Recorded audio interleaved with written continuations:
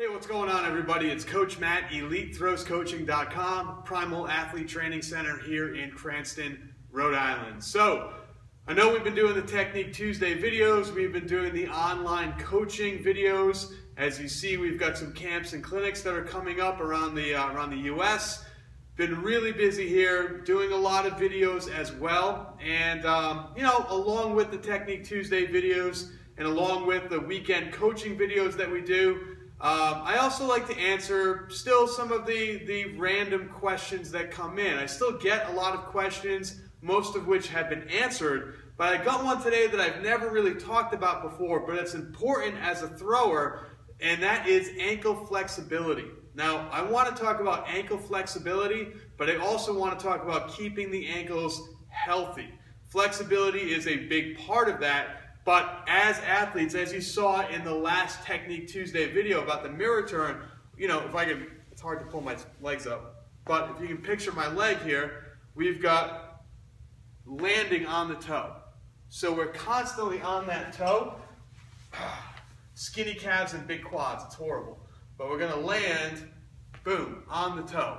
Now look, your calf, your ankle, your toes, the bottom of the feet, Everything is going to take a beating as you're doing this. So you want to keep your ankles flexible.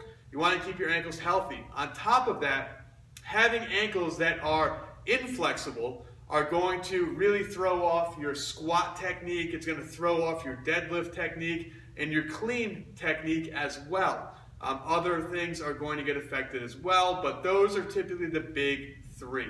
So what do I do for my ankles? Well, I always stretch the heck out of my ankles because it helps me in my squat position and in my deadlift starting position, which keeps my lower back very healthy. My first thing that I do are ankle rolls. So again, it's freezing cold outside, so I'm wearing pants. Ah! But what we're gonna do, giant quads, what we're gonna do is ankle rolls. Make myself little capri pants. So what we're doing is we're moving the ankle in a clockwise motion we're pushing out to the side of the ankle as much as we can. So we're trying to get the heel down on one side and then the other, making big circles. And I'll typically do about 50 going clockwise per ankle and then 50 counterclockwise per ankle. So just basic ankle rolls. The other thing that I like to do is Around the gym, we have equipment that has, you know, posts that are about the same height as the sled that you see right here. So we have our power rack has a bar that's a few inches off the ground. Our lat pull down machine has a bar that's a few inches off the ground. Our glute ham raise, they've got bars that are just about, you know, three to four inches off the ground. So what I like to do is just stretch out my calf and my ankle here. Now what you're gonna notice, some people make the mistake of just putting the tips of their toes and it ends up becoming like a toe stretch where they're just basically just pushing their toes or bending their toes back as far as possible. I like to try to get the ball of my foot higher. And what I'll do is I'll use my back foot to push my body weight down into that toe. So you're not on the tips of your toes, you're on the ball of your feet. And we're just trying to drive the ankle and get that flexion in the back of the ankle near the Achilles. So we're just driving forward. Now you notice I'm trying to get as much of my weight as possible over that ankle. And if the foot slips down, I just reset the foot and try to drive into it again.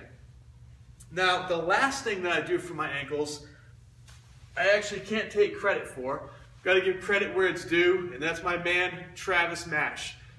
Travis is a former, or believe still holds, maybe still holds, world records in powerlifting. He also trained at the Olympic Training Center, and he has freak weightlifting athletes that compete at you know national level and junior national level competitions.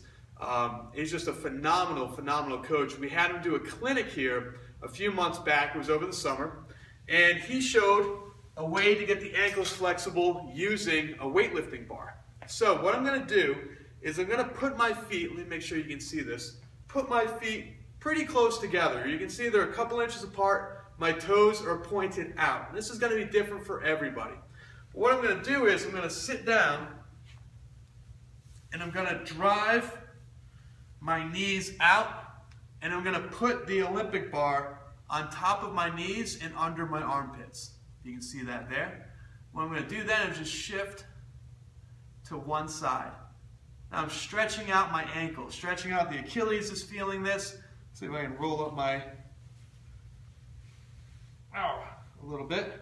So I'm trying to keep the foot flat on the ground and I'm shifting my weight to one side. Then I'm just gonna shift back, trying to keep that foot flat and shift to the other side.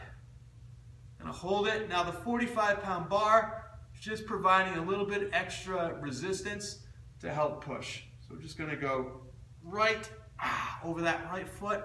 Does not feel good. It's a stretch. It's supposed to hurt a little bit. And then ah, over that left foot, trying to keep the heel on the ground as much as possible. And I'll go back and forth a few times just to make sure that I get them nice and stretched out. From there, I might bang out a couple more ankle rolls uh, or some more of the calf ankle stretches on the prowler. So that's what I do for my ankles. It's a very important part, especially as throwers. We're constantly landing on those toes. We're constantly pushing off the feet. Your ankles take a big brunt of the punishment from all of the pounding that we do in those circles. So make sure to take care of your ankles. Make sure to keep them stretched out, keep them flexible. It's going to help you in the weight room as well. All right, guys, make sure, go to EliteThrowsCoaching.com. You can sign up to be a part of our online team, or you can check out our camps that are coming to Massachusetts in April and our three-day overnight camp in Pennsylvania in July. Hope to see you there.